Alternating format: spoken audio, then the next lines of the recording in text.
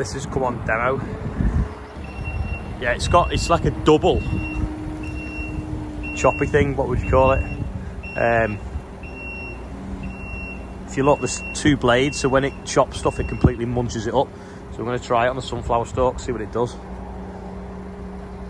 Hi, Ivan, jump. Pop. Pop. He was jumping then, wasn't he? Jump. No.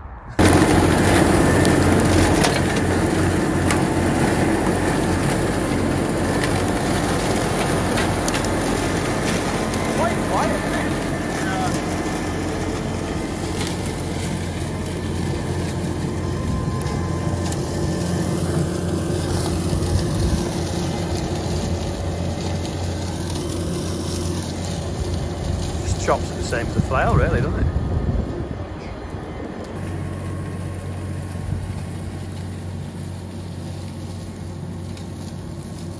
What's that about? 8k?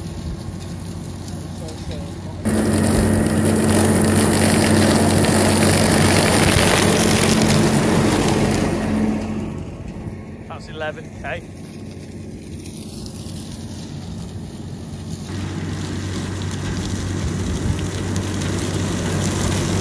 Good job we put it on the Fastrac.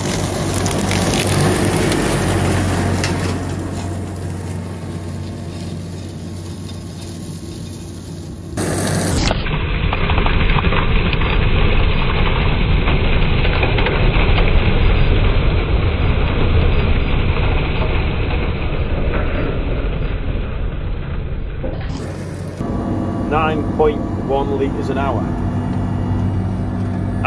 Many k are we going? 10.5k. 2.8 metres. Is that Dutch? Does anyone, it's round the corner, does anyone want to work out what we're doing? Kind of litres an acre wise? Tractor's not struggling at all though, is it? So we're just going around the outside now. Then we're going to go for this bit that was all like the wildflowers and the chamomile. Just be shredding up nicely. The idea of this flail is it, it's supposed, not a flail, sorry. The idea of this, it's supposed to be a lot more fuel efficient than a flail. Will do the same job and be quicker because you can, you've got a, you can have a lot higher forward speed. You've got a lot, you're moving a lot less mass, I presume, and you're not sort of like tangling up and snowball effect. Maybe you're just chopping it, and throwing it straight out, getting rid of it. I just jumped out now. This was this chamomile. It actually fell over in this direction, so we're going the wrong way really to, for it to chop it well. But we'll see what it does.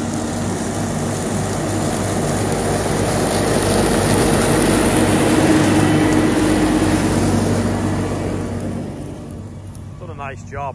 You just slowed down a little bit, but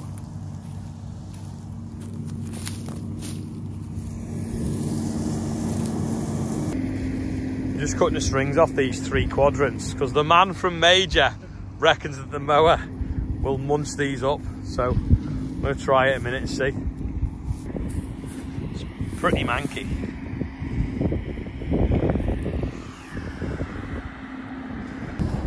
Andrew's just shoving the bales about now with the mower and then we're going to try chopping them up. Let's put one over there, there's one here and one there. I'm going to move the string so we don't tangle that up.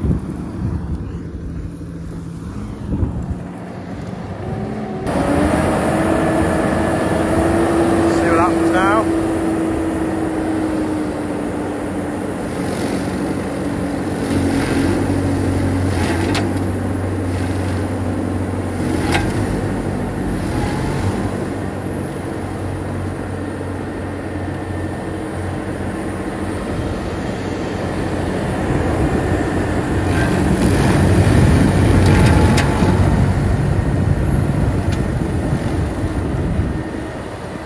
One Last year we them through the wood chipper.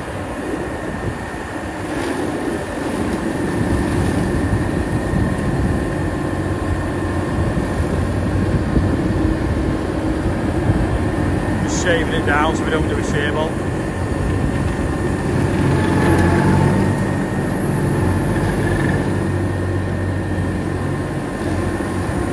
Good just direct drive, isn't it? There's no belts to slip, is there like on a flail?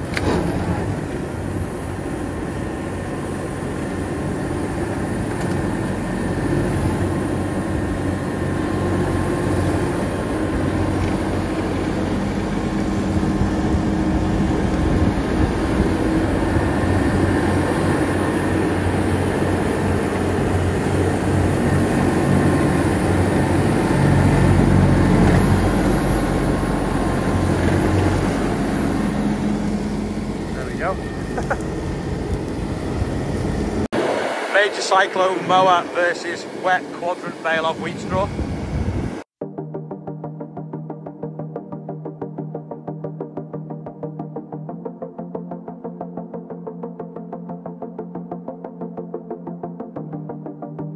There we go, all gone. We're just trying on this old pasture now, see if it rejuvenates a bit in a few weeks. Seems to be pulling the dead up actually. So, see what it does. It's raining now, so we're sat in a buggy watching it. It's a bit hard to see on the video what it's doing, but if you look, can you see where he's gone through here now? It's it's obviously looks a lot browner and deader. That's because it's pulled the dead stuff out the bottom, which is what we want because that will encourage the new growth. So although it's taking the green tips off the top, it's also bringing the dead up. Right, it's 30 minutes since I started recording in this field and you've just finished it. So three acres in 30 minutes. It's not bad, is it? Andrew's back out spreading now. We'd had a bit of rain before, so it went a little bit sticky. So we've just had on dinner and eased off. So it's going to go and spread over the railway at Rainhill now. Needs 2.4 ton, which is four bags, and we've got a little bit left in the bottom, so hopefully he won't run out. Give him the uh, quick bounce. Send a shockwave through him so there's no lumps in him. Andrew's gone out running fertiliser on that field over the railway, the one that we like we think looks amazing, and he's time lapsed it to where it is.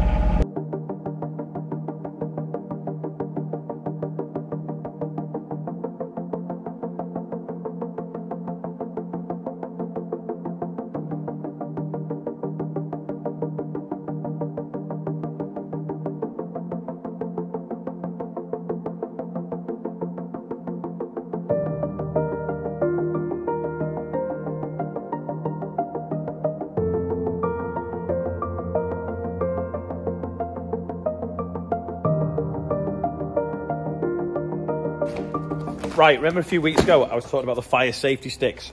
Anyway, I've been in touch with Helen, who it is that supplied them, and they sent us one in the summer. And I've been watching the videos, and we've basically bought one for every tractor, which is in this box here, which I'm going to open. But also as well, what we've done is we've done a deal where we can put them on our website, and you can order them through our website, which will come direct from Fire Safety Stick, but a lot cheaper than you can get them on Amazon. So I'm to open the box and show you what's inside. But I need two hands. First thing, there's a flyer. It says a simple comparison. Basically, uh, a one kilo dry powder fire extinguisher discharges for six to seven seconds and only lasts five years. And a 2.21,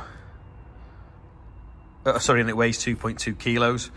Whereas one of these things, 50 se will discharge for 50 seconds, which is I don't know, eight times longer, lasts for 15 years and weighs 215 grams. That is why everyone is put them in rally cars. You can use them as well on more fires than any other fire extinguisher because and they don't make a mess. Also, which I didn't realise, you can use it like a, a, a safety blanket. So if someone sets themselves on fire, you can point it at them, put them out without choking them with, or suffocating them with CO2 or choking them with um, foam or dry powder because the clever stuff in it is something that was developed by the Soviets to put out fires on their space shuttles and it only turns it basically kills the oxygen in the air to put the fire out but it only does that at the point it reach, reaches the flames. So it's safe to basically put a fire out on a person with one by the looks of things.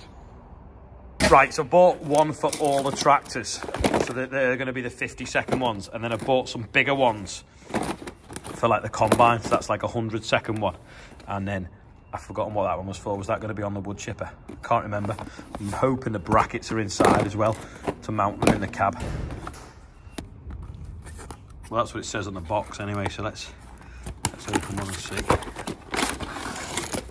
There we go. Yeah, so it's got these two brackets there. So we'll put one in the Merlo now, and then that's the cap to strike it you basically take that cap off and there's a little black thing like a match. Then you take this off. That's like sandpaper. Strike it on there and then you point it at the fire And if the fire's in a building, you can actually put that on the floor, point it at the fire, shut the door, and then ring the fire brigade. If you, and it'll keep the fire suppressed before before uh, the fire brigade arrive. So that lives in there. That lives back on there.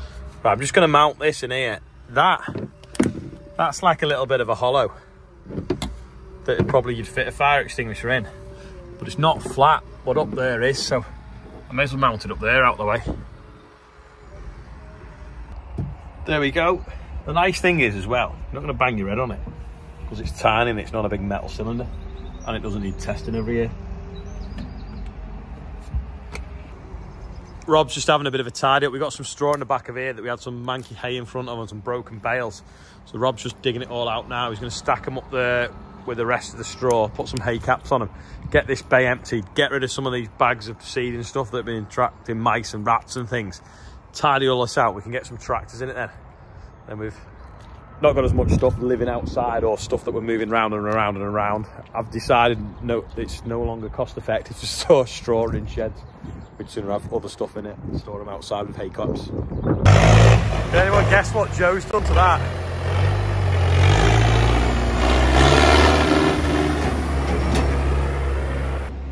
I'll give you a clue. Sounds a little bit different. I think a light bulb's gone in the offices and it's tripped the breaker. So uh, the lights aren't coming on at night, so I'm going to go and see what's going on with that.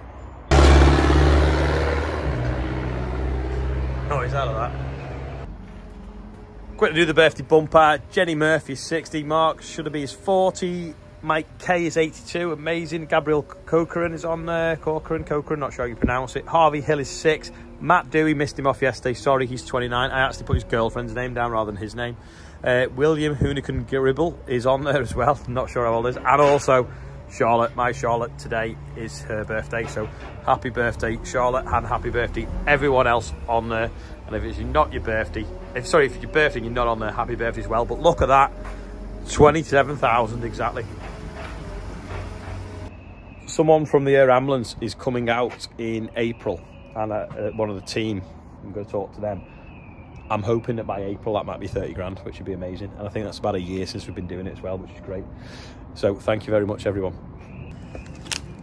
Major have left this mower here with us for a few weeks to have a play and a try with. It's obviously needs a good clean off now after cutting sunflowers and grass.